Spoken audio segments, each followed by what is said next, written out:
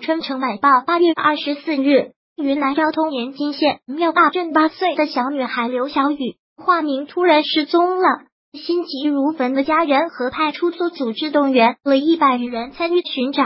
当天，在朋友圈广为流传的一份寻人启事中描述，小雨走失时身穿白色 T 恤带紫色横杠牛仔短裤、黄色拖鞋。失踪之前，孩子和后母在家里。据庙坝镇村民刘成的介绍，刘小雨家住延津县庙坝镇马柳村委会新梁树村小组，就读于马柳小学二年级。八月二十四日上午，小雨和后妈孙某在家。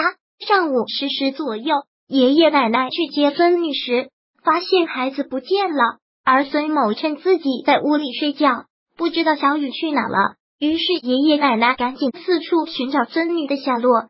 当时我出去送货了，孩子的爷爷奶奶和后妈在家。小雨父亲刘某回忆，娃娃当天上午十点左右不见了后，家里人找了三个小时都没找到，就赶紧报了警。之后民警和邻居们一起寻找孩子的下落，对家附近开始了地毯式搜索。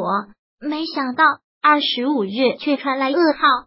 当然，上午十点，邻居在距离刘家一百米处的石崖下的树林中发现了孩子的尸体。那个石崖有十多米高，因为那里比较难走，也就没想到会在石崖里面。从外面看，根本发现不了什么。据这位邻居说，当看到了孩子时，在场的村民们都惊呆了。孩子的遗体上有多处被虐待的伤痕，孩子头部有被硬物敲击的伤痕。面部已面，目全非，惨不忍睹，嘴还被用胶带封住。是谁杀害了一个才八岁的孩子，还用了这样残忍的手段？小雨遇害的消息传开后，在当地引起了极大的反响，大家都十分愤慨，而不少人把凶手都指向了小雨的后妈孙某。还有人称，已经证实小雨的后妈已被警方带走。后妈四个月前刚生了个男孩。据了解，小雨父亲刘某在村里开了一家酒厂，月月在当地小学上二年级，平时跟着奶奶生活。刘某有过三次婚姻经历，小雨是刘某和第一任妻子的孩子，孙某是去年才和刘某结婚的，也有过一次婚姻经历。刘某说，他跟和孙某是同村人，结婚有两年了。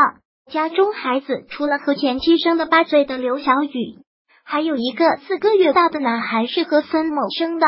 刘小雨平时并没有和父亲和后妈住在一起起，而是在离刘家有段距离的爷爷奶奶家住。事发当天，刘小雨随要去干活的爷爷奶奶来到了父亲家，随后刘某来处送货，爷爷奶奶也去干活了，小雨则留下来做作业。快到吃午饭了。爷爷奶奶过来叫孙女回家吃饭，却发现孙女不见了。而孙某告诉他们说：“我陪儿子在屋里睡着了，不知道刘小雨去哪了。”爷爷奶奶也没多想，就回自己家了。可是回家后也不见孙女，才感觉事情不妙。刘某发现女儿不见了后，也十分着急，组织了村里十多个人一起寻找。寻找了三个小时后无果，就报。了警，村民看到后妈被警方带走。据刘某透露，小雨和后妈孙某平时关系很冷淡，不亲近，他们不和对方说话的。八月二十五日，当地有村民看到小雨的后妈孙某已被警方带走。据该村村委会成员陶学明介绍，当天年津警方已经将孙某送往了看守所，法医等技术部门已经完成了对于害小雨的尸检工作。八月二十六日，春城晚报获悉，因刘小雨后妈有重大作案嫌疑，目前已被警方控制，正在进一步调查当中。八月二十七日早上，春城晚报记者询问延津公安局后，得到的答复是案子已破，还在深入调查中，近期将向社会公布调查结果。后妈有一个和小雨同样大的女儿。春城晚报记者从知情人处了解到，孙某对杀害继女的过程也供认不讳。据了解，孙某和前夫也有一个和小雨差不多大年纪的女儿，虽然女儿判给前夫抚养，孙某确实是挂着女儿。经常给女儿买吃的穿的偷偷送去，那究竟是有什么深仇大恨，将一个孩子的母亲对和自己女儿同样大的女孩下如此的毒手呢？可是同样是小女孩，孙某对自己的继女确实是看不惯，在供述自己的犯罪动机时，孙某直言不讳的说，就是容不下他。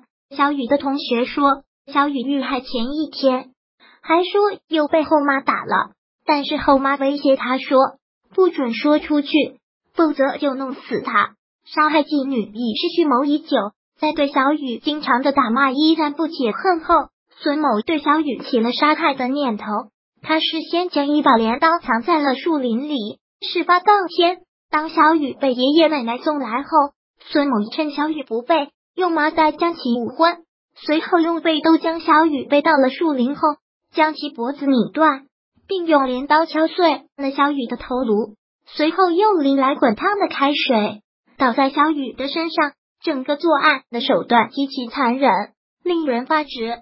做完案后，孙某还伪造了案发现场，他砍断树枝扔在地上，试图营造一个小雨是砍树时摔死的假象。随后。孙某若无其事的回到了家。当公公婆婆询问他小雨的去向时，他还平静的回答：“我睡着了，不知道。”本期编辑李小军。